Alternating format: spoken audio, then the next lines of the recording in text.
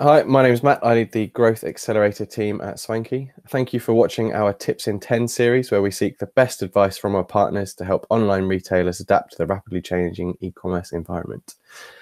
Today, we have Doron from Dynamic Yield. Um, so, over to you. Um, who are you and what does Dynamic Yield do for online retailers? Hi, I'm Doron, um, Customer Success Team Lead at Dynamic Yield UK.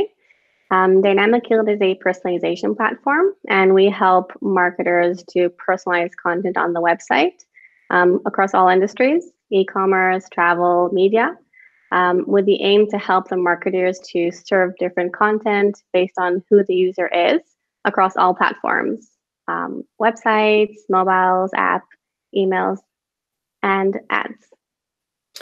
Perfect. So, as consumers are moving from buying on the high street to e-commerce, are there any ways in which um, merchants can use online visual merchandising to reflect the traditional bricks and mortar store experience? Yes, there are many ways that uh, retailers can do that. Um, and it's important to always think of who the user is and what is the user's intent when they land on the website. So if we take a few examples, um, when we walk into a store today, we have the window shop that gives us inspiration of what this brand is, what do they sell, and we can think about it similar when the user is landing on the website for the first time.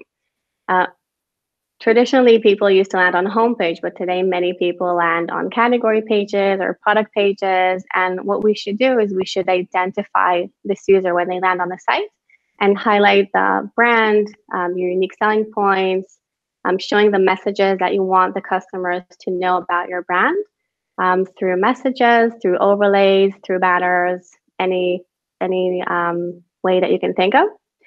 Um, other things to do is also similar to a store when there are people that work there that can identify if someone is looking for something or needs inspiration or needs a bit motivation to start exploring you can also do that online, um, understanding where this user is coming from. Is he searching for something that we can help them find faster?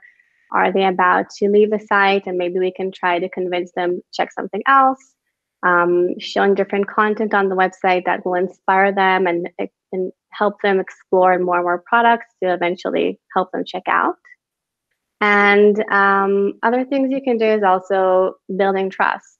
Uh, again, similar to in store, when someone is trying something, um, they have always people there that can tell them it looks really nice. Um, this is a very high demand product. You can build trust and confidence also online with social proof messages, um, highlighting things that are top selling, new arrivals. And lastly is making checkout easy. No one likes to stand in long queues and similar on websites. People don't want to have a long and um, a difficult checkout. They want it to be easy, convenient, knowing what to expect, and just ending it fast. Sounds good. I think there's been a couple of examples recently where um, retailers have struggled slightly to cope with demand online. Um, is there anything Dynamic Yield can do to help um, push out quick messaging or make very quick changes to websites where a traditional dev team might get held up? Yes, absolutely. Uh, one of the benefits of Dynamic Yield is that it's very friendly user. You don't need to be a developer to use it. Uh, we have a lot of out-of-the-box templates that you can also check out later on our um, templates library. Uh, and the idea of Dynamic Yield is that you can really upload content very fast. We do have examples also in these days where um, obviously trading meetings are daily meetings and decisions need to be made fast. With Dynamic Yield, our customers can apply ad hoc changes on the website. If it's by showing different messages regarding to COVID-19, um, if it's for promoting products that they have in stock and they want to get out of stock fast. So yes, you can definitely make changes without any developer uh, coding skills. Perfect. So um, the next question is: How are online retailers coping with COVID nineteen, and how are they using personalization and testing tools? Um, so what are the tactics that they should really be considering right now to optimize their stores? Um, the first thing is definitely these are uncertain times. And what our customers can do is communicate certainty in these uncertain times. Um, this is relevant for all our customers from all industries. Um, a few examples of what our customers are doing is using Dynamic Yield to upload content and testing what message is more is building more certainty. If it's showing longer returns, um, if it's highlighting the delivery time, if it's highlighting the payment options, um, and checking what is building more certainty these days. Um, other things that I see our customers are doing is adapting to the new lifestyle. Today, everyone is working from home. And what we can see is a lot of customers changing the content on the website when users land on the website um, with different messages, such as everything you need to work from home. This is really relevant for websites that are electronic websites or uh, home and furniture websites where you can really promote uh, personalized content based on what you need to work from home. If you know that someone recently bought a new desk, you can now promote maybe a new screen, you can promote a convenient chair to go with that, um, and really help the customers to build their home office.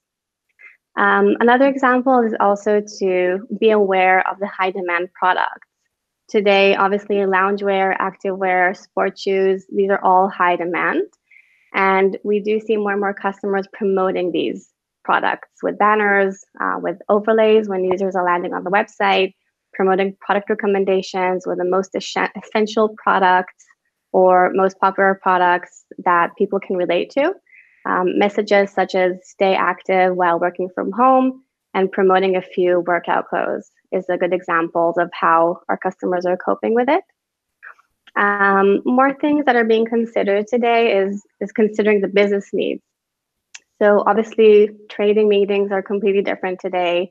Um, the stock and inventory is completely different and decisions need to be made on daily basis of what to do and what to show on the website.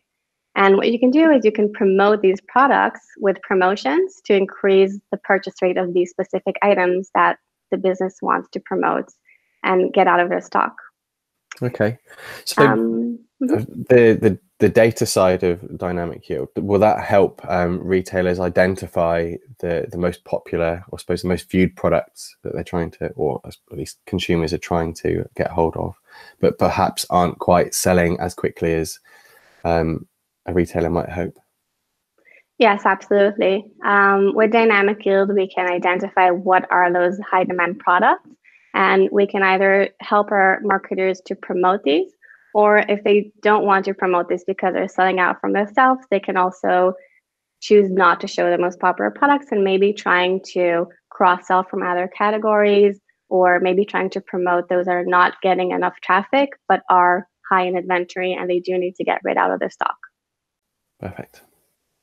So user intent is changing um, and forecasting where it might go over the next few months is proving difficult. It could swing wildly from one direction to another how can um, the data provided for retailers in dynamic yield help them understand customer intent, um, particularly through segmentation? There are ways you can still use use this data to predict the user's intent um, by understanding who are the users, where are they coming from, what are they looking, how often are they visiting the site. Actually, because people are, are staying more at home, then they may have more frequent visits to a website. And all of that can be leveraged with real-time segmentation with dynamic yield. Um, identifying first-time visitors and as mentioned, highlighting unique selling points, highlighting why they should buy with this brand, highlighting the high demand products can help them find what they're looking for faster. And identifying returning visitors who maybe previously purchased something, you can use this information to cross sell and promote other categories instead. Good thank you, Doron, for your advice at this time, and thank you uh, so much for watching.